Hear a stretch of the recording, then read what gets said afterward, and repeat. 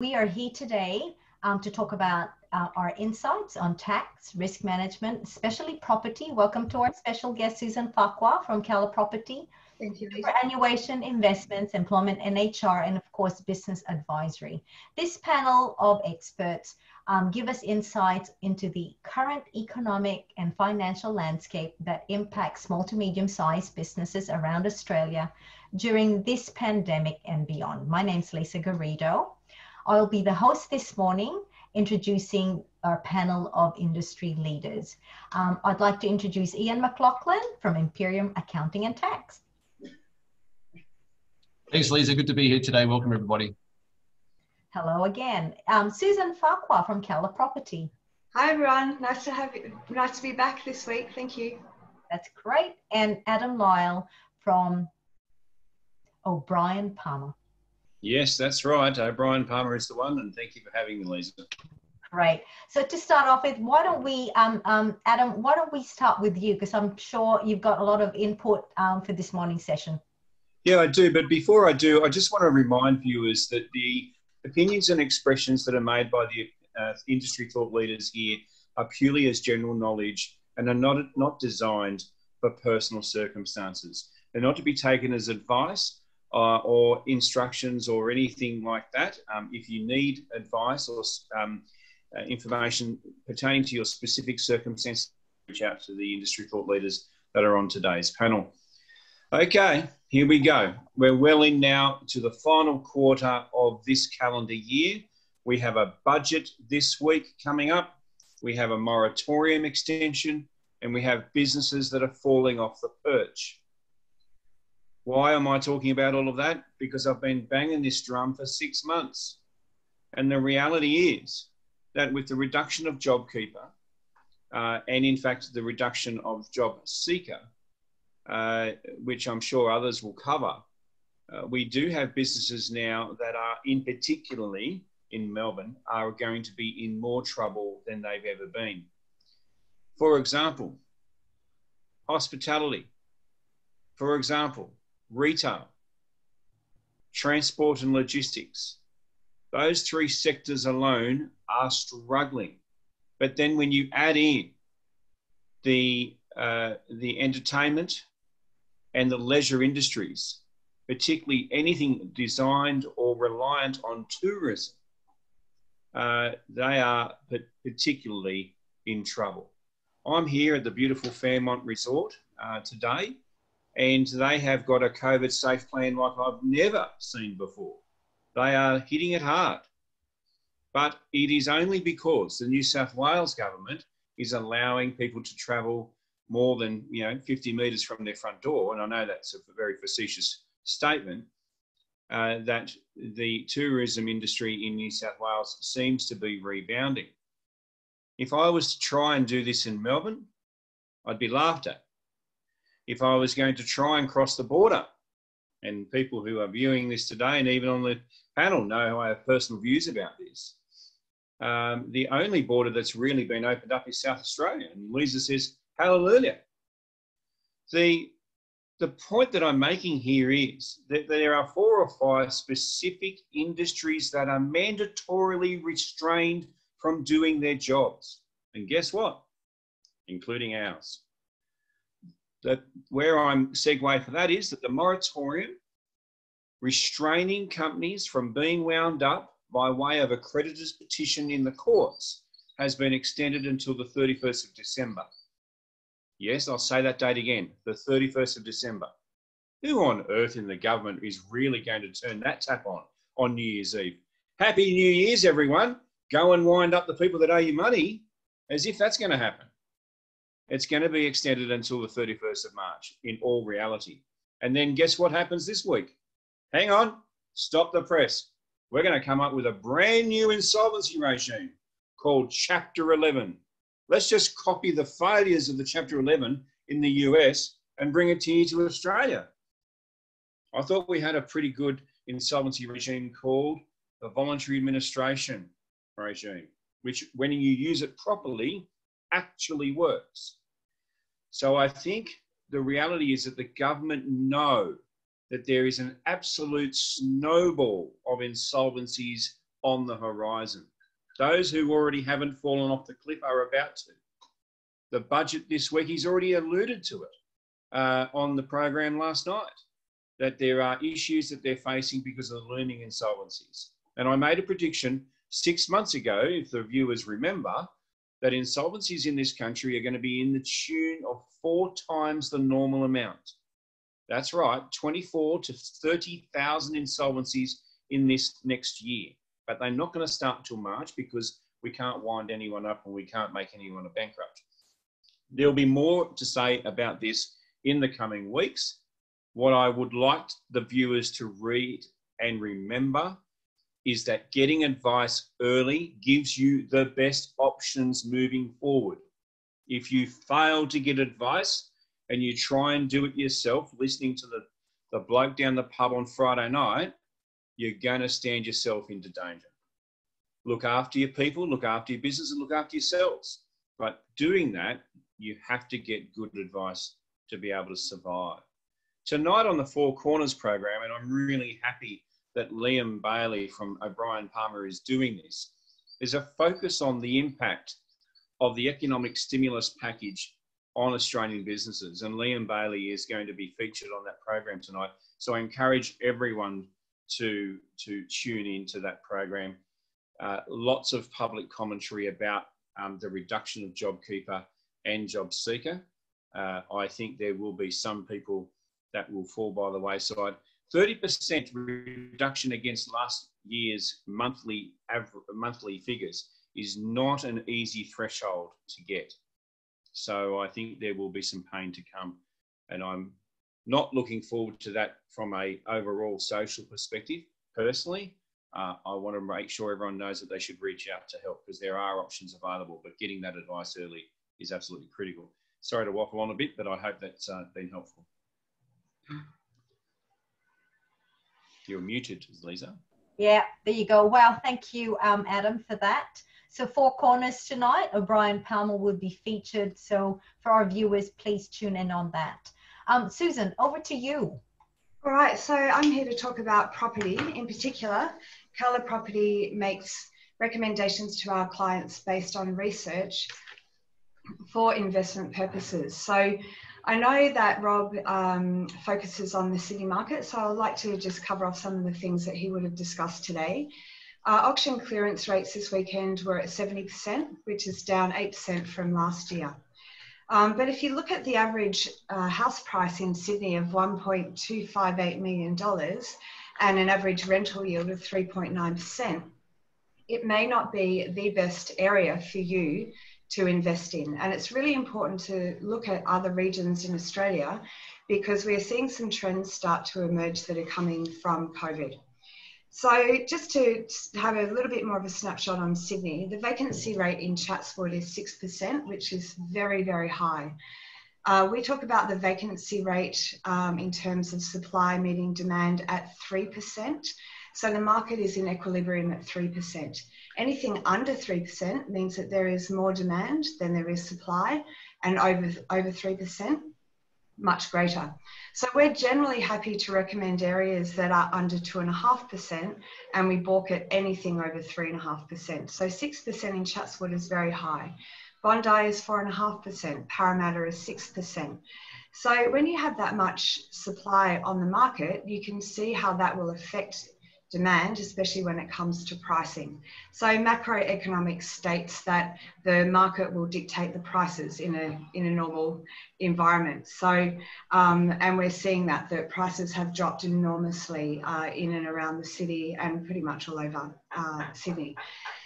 However, if you go to some other regional areas, and some areas that we have been recommending to our clients for quite some time now are Geelong, um, the Sunshine Coast, and Brisbane's Northern Growth Corridor. The vacancy rate in Geelong is 3%, and so the supply meets demand, and the uh, average house price is 538,000. Also, you're looking at a rental yield of closer to 4%, which makes sense, uh, makes a lot more sense from a cash flow perspective.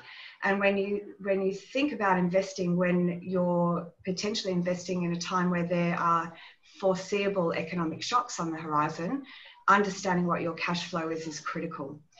The area that's a standout though is the Sunshine Coast. Vacancy rates have dropped from 1.1% earlier in the year to just 0.4% in one suburb called Meridan Plains that I have been recommending. And the average house price there is 529,000 with a rental yield of 5%. And you can see when there is a huge demand and very minimal supply, uh, you're more likely to get more money for your weekly rental income. And at the end of the day, you're really looking for your tenant to pay for your investment. So it's really critical that you understand the numbers that not only go into the drivers of capital growth, but also rental stability. Buderim is another area we love. Vacancy rate's 1% and Joyner, which is in the northern growth corridor of Brisbane in a uh, protected koala corridor, is just 0.5%. And the average house price there is 554,500. And the rental yields there are 5 to 5.5%. So what we're seeing is a uh, quite a trend towards regional areas, and I'm particularly seeing regional areas that are about an hour from a from a capital city, having a having the most amount of uh, inter, uh, population migration. And if you think about it, it makes sense, right? If you've got three kids under the age of 10 and you're trying to homeschool and work from home and you're cooped up in a Sydney apartment, uh, it's very easy to go, okay, well, maybe the Central Coast is a better plan for me and my family, or the Blue Mountains, or Wollongong. You can get much more bang for your buck in terms of space, lovely outdoor living, and maybe a more stress free environment. But what we had started to notice just before COVID hit is that there is quite um, an interesting migration pattern of millennials moving to regional areas. Now, this is really the golden generation. That's kind of how we refer to it in, in property, because millennials are the ones who are going to be putting down their roots, who are going to be having kids, who might be starting businesses. They're, one, they're on the way up in their life, they're not on the way out. So that's what we want to see as a trend for stimulating an economy. So these are some of the things that we think about with the macro, uh, with the macro research that we conduct, and the research we do is very extensive. The macro research are the broad trends of and the drivers of capital growth. So things like looking at the economy, the resilience of the economy, is it diversified, is it strong? Uh, what are the drivers of employment? Adam, like you said, the areas that are being that have taken a hit at the moment are hospitality, retail, and tourism. Along with mining, they're, they're towns that we don't want to see large, sub, substantial uh, percentages of the employment represented because they are far more susceptible to economic shocks. Tourism, foreign exchange affects it the most, and mining obviously can have huge um, surges and then massive declines, and the declines can go for generations. So we're looking at the trends that are really um, driving an economy, but the micro, a lot of people talk about where is the best place to invest from a macro perspective, but they often don't look at it from a micro perspective. In the last five years, a lot of there's been a lot of news around investing in Brisbane. The only part of Brisbane that has had any real uh, capital growth has been the Northern Growth Corridor, which is the only area we have been recommending for over five years. So it just goes to show that that research helps really pinpoint the right kind of property, so house and land versus apartment or townhouse, the right suburb, and then the region that is set for strong capital growth. It's critical that you get that right in the first cycle of your property investment. After the first cycle, when you've gone through the ups and downs of that cycle, it's really compound interest that's doing the heavy lifting. So I hope that gives you something to think about and maybe something to consider when you are investing in property. It's very easy to think that you know your backyard but really how well do you know it? You know what are the what are the large infrastructure projects the employment rate etc and where where is the employment coming from? Um, so looking to regional areas in particular or other capital cities that have a cheaper buying price and an okay rental yield in this market is something to really consider. Uh, but getting that doing that research is absolutely critical. So talk to professionals who know what they're talking in this space so that you don't get burnt, especially in that first cycle. And especially when we're dealing with an economic shock that you could never have predicted, you know, a one in a hundred year pandemic, knowing that you've got the cash flow, knowing that you're in a highly desirable area, that is particularly fed by health and health and education infrastructure is critical. Thank you so much, Susan. That is um, amazing insight. And just to I, I validate your your insight today, um, if um, our viewers haven't already been listening to the news, there is a growing percentage, and it's up to 72% of employees in large organizations are negotiating not returning to the workplace. So as a result, a lot of, like you say, it might be the millennials because those re- the research hasn't actually predicted the that generation of, of those um, employees. As a result, uh, more people are looking at, at, regional investment or regional homes because they can, um, within an hour's drive, come to their workplace on a rotational basis, but continue to work from home in a much freer, much more stress-free environment. So that that definitely validates your insight there. Um, and it's something I'd like to elaborate on in next week's um, session at Business Insights in terms of that remote remote uh, working and what you need in your workplace to continue to sustain a stress-free environment. So there's been a lot of focus in the property markets on the sea change and then the tree change. We call this the E change you know, especially with uh, online businesses emerging and growing and the concept of the four hour work week, you know, but again, everyone has, has come to the same level of maturity almost at exactly the same time with Zoom and Teams and other devices. So it's really interesting to see how yeah. trend will continue. Yeah, absolutely, absolutely. So um, thank you, Suze.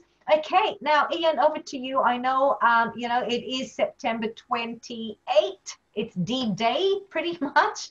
Um, JobKeeper updates from you, Ian. Thanks, Lisa. What is this a significant day because today is actually the start of JobKeeper 2.0. So JobKeeper 1.0 finished last night and JobKeeper 2.0 started today. So what does all that mean? Well, basically, people, well, businesses will still have uh, uh, October to lodge their September declarations as part of JobKeeper 1.0 and that will be the last payment that will come through for JobKeeper 1.0. So businesses will have until the 14th of October to lodge those September declarations for JobKeeper 1.0 with the ATO. And just a reminder of what you need to do for that, you need to put your uh, expected turnover for the for the for the following month and your actual turnover uh, for, for that month as well. And then what will happen is JobKeeper 2.0 will kick in. Now, what does that look like? Well, it's a fair bit different to JobKeeper 1.0. So the first payment for JobKeeper 2.0 won't come through until November because it's not covering off until the, the October month. So businesses that are on JobKeeper 1.0 don't need to um, uh, unregister if they don't qualify for JobKeeper 2.0. Businesses that qualify for JobKeeper 2.0, they, if they're on JobKeeper 1.0, they don't need to fill out any more forms, but when they do their declaration with the ATO, they are going to have to tick a box which basically declares that their actual turnover for the September 2020 quarter was 30% or more down on their actual turnover for the September 2019 quarter. Now, where that's a fair bit different to JobKeeper 1.0 is with JobKeeper 1.0, you had the option of projecting your turnover when you elected into JobKeeper. But this time around, it's based on your actual turnover. Okay. So a couple of questions that have come through is what's included in this turnover and how do you calculate it? So I thought I'd just cover off those today.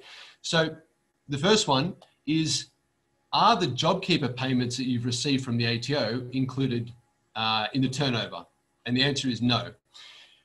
How do you calculate your turnover? Is it based on a cash or an accruals method? Well, it depends on how you report your BAS for GST purposes. So if you report your, your BAS on an accruals basis, then you're looking at your accruals turnover. If you report your BAS on a cash basis, then you're looking at your turnover on a cash basis. Another interesting thing that the ATO has put in there as part of the turnover test is sale of assets is included as part of your turnover. So that's a big one to remember as well. So just a, a, refresh on what that payment goes down to. So JobKeeper 1.0, we had the payment, the flat payment for everyone of 1500 a fortnight per employee or business participant. That now drops to 1200 for what we call tier one employees uh, and it drops to 750 for tier two employees. So tier two employees are those that have worked less than 20 hours per week or 80 hours a month, and you've got two test periods for this that you can use. The first test period for your 80 hours, they work in the pay cycle 28 days prior to the 1st of March.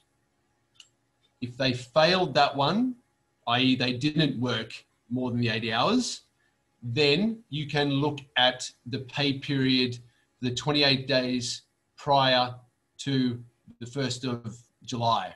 Okay, so you've got two different test periods you can use per each employee to not nominate whether they are tier one or tier two. Now, a couple of other questions that have come through. You are going to have to let the ATO know when you do your declarations who is tier one and who is tier two. Uh, Xero is not going to release any special buttons which nominate people for being tier one and tier two. Well, that's what they said last week, so I don't know if anything's changed since then.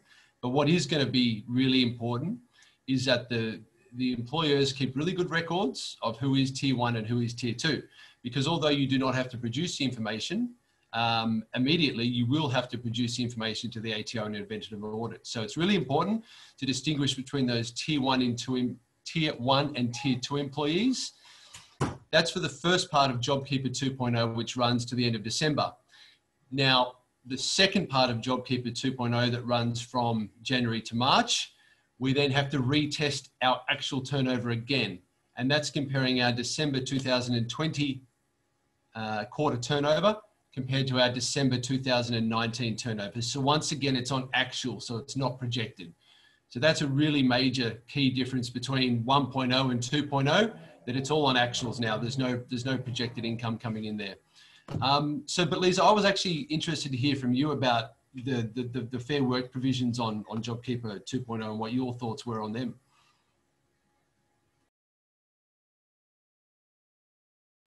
Thanks for that, Ian. I'm actually going to um, go through that. Now, for our viewers, forgive me if you're going to see a set of slides that have a lot of words in them. And the reason why I've done this is so that you can actually take a picture if you wanted to. So that gives you an idea of what the definitions are and what the flexibilities are under Fair Work. So I'm just going to quickly do a share screen. Um, um, Ian, do you want to make me host so I can do that, please? And just for the viewers, it can help to change your view to speaker view. Yes, you could do that too. Thanks, Ian. All right, so I'm just going to go through um, that right now.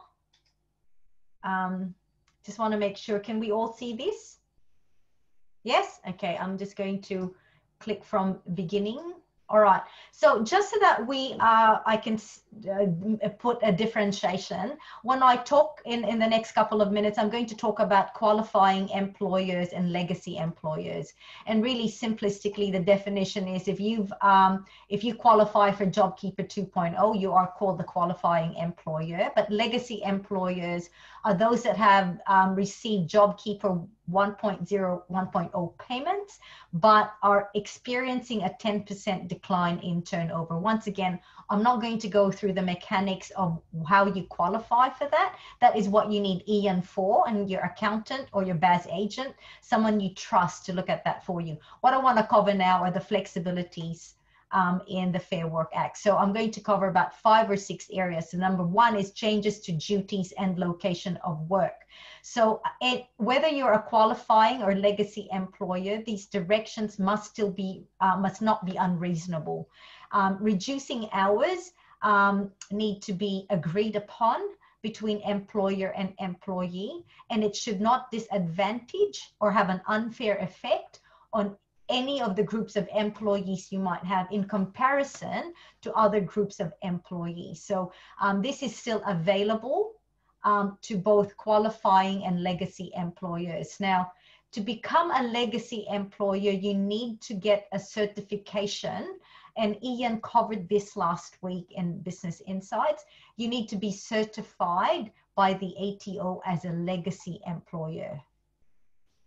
in terms of changes to days and hours of work, so qualifying employees can still reach agreements in relations to changing the days and times of work. Um, and also um, same with the legacy employers. However, there's a new requirement to ensure that such an agreement doesn't result in the employee working less than two consecutive hours in a day for legacy employers. All right, um, so that is um, a requirement. When it comes to JobKeeper enabling stand down directions, qualifying employers can continue to issue JobKeeper enabling stand down directions. In the JobKeeper 2.0 regime, uh, 2.1.0 regime, rather, this is called known as the stand down direction um, where you can, if you are a qualifying employer, you can reduce the employee's ordinary hours, including to zero, provided that the relevant criteria of consultation and documentation of that direction are met.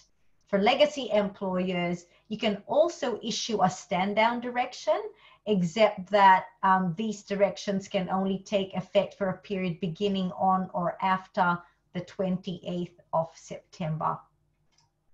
And Lisa, um, we can only see your cover slide and whether you had changed slides or not. Um, oh, okay. Let me just double check why that's happened.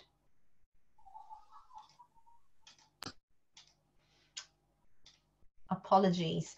I don't want to take any um, too much time on this. I'm not sure why. Um, no, can you see? Is this what you can see? Yeah, we can see the slides. Yep now? Okay, all right. So I'm going to start with this. So as I said earlier, um, that's the JobKeeper enabling stand down directions.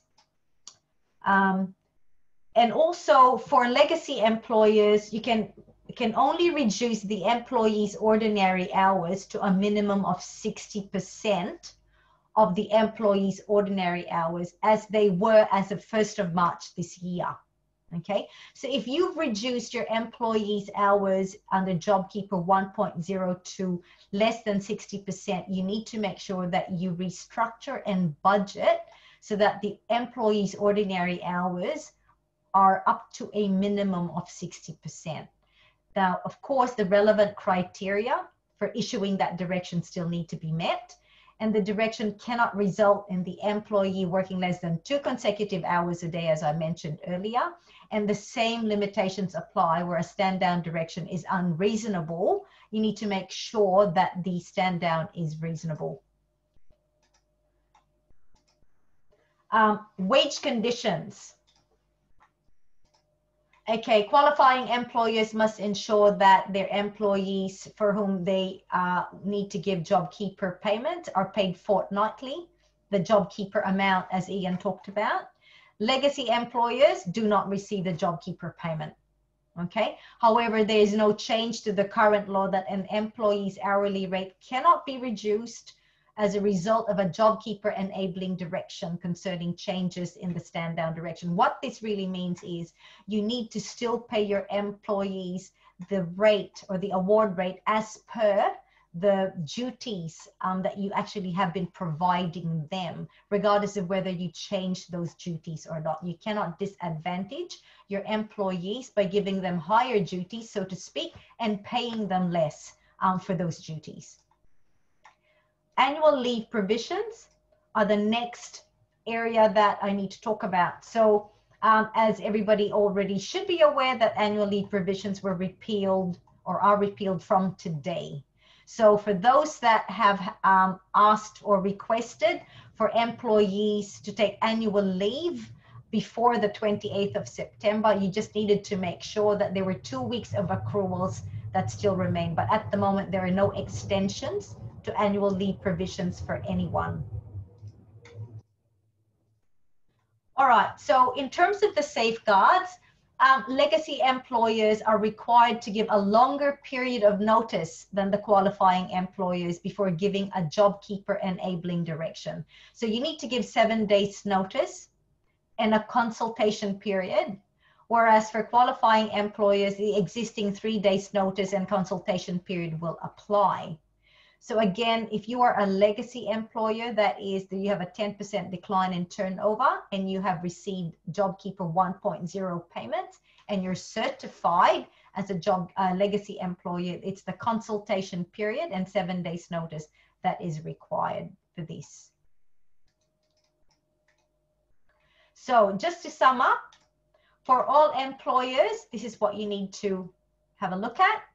You still need to comply with all the payment obligations and all your employees have the right to request to engage in secondary employment or undertake training or professional development. So those are the real changes um, in the JobKeeper flexi flexibilities under the Fair Work Act.